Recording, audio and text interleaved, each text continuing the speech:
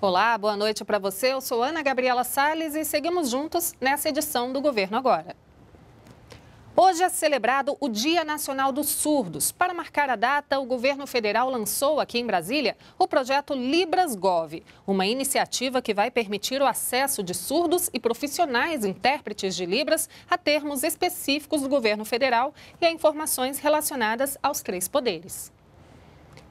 O Banco Central revisou para cima a previsão de crescimento do Produto Interno Bruto, o PIB, que é a soma de todos os bens e serviços produzidos no país. Segundo o relatório divulgado hoje, esse ano o crescimento será de 0,9%, 0,1 ponto percentual a mais do que o previsto. O crescimento da economia no segundo trimestre e a previsão no quarto trimestre, incentivado principalmente com as liberações de recursos do FGTS e do PIS/PASEP, medida do governo federal para estimular o consumo, foram alguns dos fatores para a revisão de crescimento da economia. Para o ano que vem, a estimativa do Banco Central é de crescimento de 1,8% na economia, condicionado ao cenário de continuidades das reformas e ajustes necessários para o setor como a nova Previdência, já aprovada na Câmara e em discussão no Senado. O relatório também prevê inflação abaixo de 4% para este ano e no ano que vem.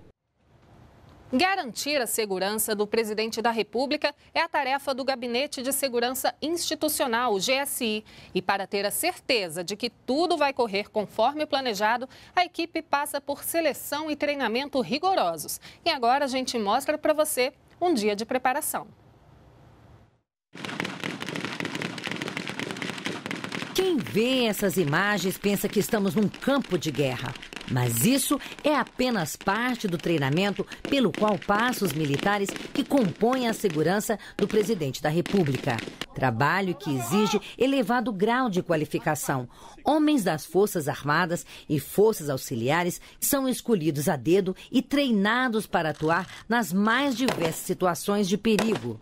São cinco meses de treinamentos intensos, passando por simuladores, defesa pessoal, Vaga faca, vaga faca. Aula de tiros até que atinjam um nível de excelência e sejam colocados a serviço da segurança do presidente, vice-presidente e familiares. Para o ministro do Gabinete de Segurança Institucional, quem faz parte desse time precisa ter um pouco de super-herói uma mistura do Batman, Superman, Mandrake. O possível é procurar um pouco de cada um desses super-heróis super e colocar aqui. O general explica que durante as viagens presidenciais, por exemplo, um escalão avançado se reveza na segurança do presidente 24 horas. Um trabalho muitas vezes exaustivo. O sujeito passa a noite no corredor, descansa 3, 4 horas, assume outra missão no dia seguinte. Então, isso é outra coisa. Nós temos que ter uma seleção rigorosa de capacidade de durar nação, né? resiliência.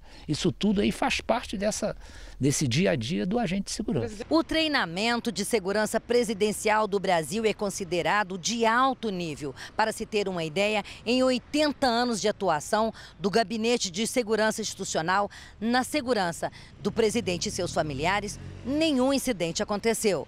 Mas o ministro-chefe do GSI garante que nenhum método de segurança é 100%. É lógico que existe um pequeníssimo grau de risco que pode envolver uma situação desagradável. Cada visita, cada evento tem um tratamento diferente, porque é uma atividade altamente dinâmica.